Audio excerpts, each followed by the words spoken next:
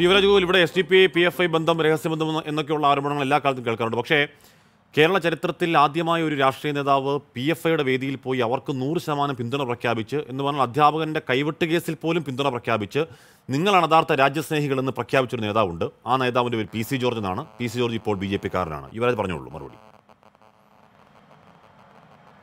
അല്ല P C ജോർജിന്റെ മറുപടി കറക്റ്റ് കഴിഞ്ഞ ദിവസം കറക്റ്റായിട്ട് തന്നെ അദ്ദേഹം പറഞ്ഞിട്ടുണ്ടായിരുന്നു. ഈ വിഷയം വന്നപ്പോൾ അദ്ദേഹത്തിന്റെ ഫേസ്ബുക്ക് പോസ്റ്റ് തന്നെ ഉണ്ട് കാശ്മീർ അദ്ദേഹം തന്നെ അതിനകത്ത് മറുപടി പറഞ്ഞിട്ടുണ്ട്. എന്താണ് അദ്ദേഹം പറയുന്നത്? ഞാൻ പോയത് ഒളിഞ്ഞോ തെളിഞ്ഞോ ഒന്നും അല്ല പോയത്. ഈ പറയുന്ന പോലെ കോൺഗ്രസിനെ പോലെ അടി കൂടി പിന്തുണ വാങ്ങിക്കാനോ സി പി എമ്മിനെ പോലെ കഴിഞ്ഞ തവണ നിയമമണ്ഡലത്തിൽ അടി കൂടി പിന്തുണ വാങ്ങിക്കാനോ അതുപോലെ അടി കൂടി ഒന്നും പിന്തുണ വാങ്ങിക്കാനല്ല പോയത്. ഞാൻ സ്വതന്ത്രനായിട്ട് മത്സരിച്ച സമയത്ത് അവർ പിന്തുണ തരാൻ വേണ്ടിയിട്ട് വന്നു. ഞാൻ അവരുടെ പിന്തുണ നെഞ്ചു വിരിച്ചു നിന്ന് അവരുടെ കൊടി എടുത്തു പിടിച്ച് സ്വീകരിക്കുകയുണ്ടായി. പക്ഷേ അതിന് ശേഷമാണ് അവരുടെ യഥാർത്ഥ സ്വഭാവം എന്താണെന്ന് എനിക്ക് മനസ്സിലായത്. അതിനുശേഷം ഞാൻ അവരെ തള്ളിപ്പറഞ്ഞു. കഴിഞ്ഞ അസംബ്ലി തിരഞ്ഞെടുപ്പിൽ നിങ്ങളുടെ വോട്ട് എനിക്ക് വേണ്ട എന്ന് തുറന്നു പറഞ്ഞു തന്നെയാണ് സ്വതന്ത്രനായിട്ട് അദ്ദേഹം മത്സരിച്ചത്. അദ്ദേഹത്തിന് വേണമെങ്കിൽ കഴിഞ്ഞ തവണ അവരുടെ പിന്തുണയോടുകൂടി മത്സരിക്കാമായിരുന്നു. ഈരാറ്റുപേട്ടയിൽ ഉൾപ്പെടെ അദ്ദേഹത്തിന് വലിയ വോട്ട് കിട്ടിയതായിരുന്നു അദ്ദേഹം വളരെ ഈസി ആയിട്ട് വീണ്ടും നിയമസഭയിലേക്ക് ജയിച്ചു പോകുന്ന സാഹചര്യം ഉണ്ടായിരുന്നായിരുന്നു പക്ഷേ അദ്ദേഹം കഴിഞ്ഞ തവണ എന്താണ് നിലപാട് സ്വീകരിച്ചതെന്നുള്ള കാര്യം നമ്മൾ കണ്ടാണ്. അപ്പൊ അദ്ദേഹം തന്നെ അത് വ്യക്തമാക്കി കഴിഞ്ഞ സ്ഥിതിക്ക് ഇനി നമ്മൾ വീണ്ടും പി സി ജോർജിന്റെ വിഷയവും പറഞ്ഞിട്ട് നമ്മുടെ എസ് പി അത് ജോർജിന്റെ അവർ എസ് ഡി പിയുടെ പിന്തുണ വാങ്ങാത്തത് ജോർജിന്റെ എന്തെങ്കിലും ഔദാര്യം കൊണ്ടല്ല. എസ് ഡി പി ജോർജിനെ പടിയടച്ച് തള്ളിപ്പറയുന്ന വെച്ചതുകൊണ്ടാണ് എങ്ങനെ ഉണ്ടായത്? എസ് ഡി പി അദ്ദേഹത്തെ തള്ളിപ്പറയുന്ന സാഹചര്യം എന്താണ് ഉണ്ടായത്? അതിനൊറ്റ കാരണമേ ഉള്ളൂ. അദ്ദേഹം ഈ പറയുന്ന തീവ്ര ഇസ്ലാമികതയ്ക്കെതിരെ നിലപാടെടുത്തത് കൊണ്ടാണ് എസ് ഡി പി അദ്ദേഹത്തെ തള്ളിപ്പറയുന്ന സാഹചര്യം ഉണ്ടായത്. അല്ലാണ്ട് മറ്റൊരു സാഹചര്യത്തിലല്ലല്ലോ എസ് ഡി പി തള്ളിപ്പറയുന്ന സാഹചര്യം ഉണ്ടായത്. നിലപാടാണ്. ഞാൻ പറഞ്ഞ പ്രസ്തുത പരിപാടി അത്തരത്തിലുള്ള രാഷ്ട്രീയ കൈവിട്ട് കേസിന് ശേഷമാണ്. കൈവിട്ട് കേസിൽ നിങ്ങൾ നിരപരാധികൾ ആണെന്നറിയാമെന്ന് ആ പ്രസംഗത്തിൽ ജോർജ് പറയുന്നു. ഞാൻ വേണേ ലിങ്ക് യുവരാജന് അയച്ചു തരാം. ആ പ്രസംഗത്തിന്റെ ലിങ്ക്.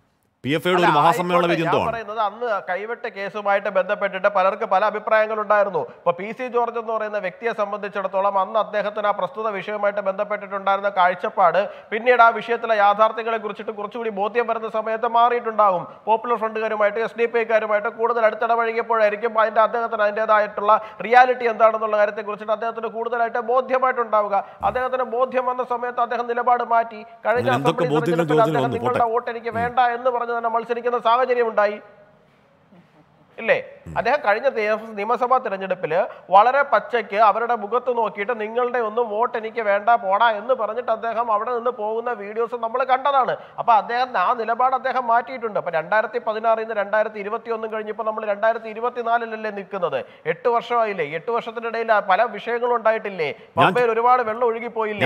അദ്ദേഹത്തിന്റെ നിലപാട് പി എഫ് വേദിയിൽ പോയി കാര്യങ്ങൾ പരസ്യ പിന്തുണ കൊടുത്ത ഒറ്റ നേതാവ് കേരള ചരിത്രത്തിലുള്ളൂ. വേറെ ഒറ്റ രാഷ്ട്രീയ നേതാവും പി എഫ് ഐയുടെ പൊതുവേദിയിൽ പോയി നിങ്ങൾ മഹാന്മാരാണെന്ന് പറഞ്ഞ് ഞാൻ കേട്ടിട്ടില്ല. അങ്ങനെ ഉണ്ടെങ്കിൽ താങ്കൾ തിരുത്താം. താങ്കളുടെ പാർട്ടിയിലോ എൽ ഡി എഫിലോ യു ഡി എഫിലോ? ഞങ്ങൾ പറഞ്ഞത്.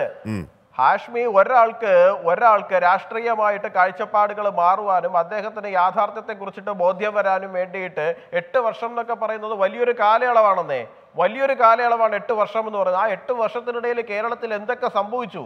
കേരളത്തിൽ എന്തൊക്കെ മാറ്റങ്ങൾ ഉണ്ടായി? ആ, പറയൂ, രാഷ്ട്രീയമായിട്ട് ആ രാഷ്ട്രീയമായ മാറ്റങ്ങൾക്കൊപ്പം അദ്ദേഹത്തിന് മാറ്റങ്ങൾ ഉണ്ടായിട്ടുണ്ടാകും അദ്ദേഹത്തിന്റെ ചിന്താഗതികൾക്ക് അദ്ദേഹത്തിന്റെ കാഴ്ചപ്പാടുകൾക്ക് അദ്ദേഹത്തിന് കിട്ടുന്ന ഇൻഫർമേഷന് ഒരുപാട് മാറ്റങ്ങൾ ഉണ്ടാവും. അതിനനുസരിച്ചിട്ട് പി സി ജോർജ് നിലപാട് മാറ്റിയെടുത്തു.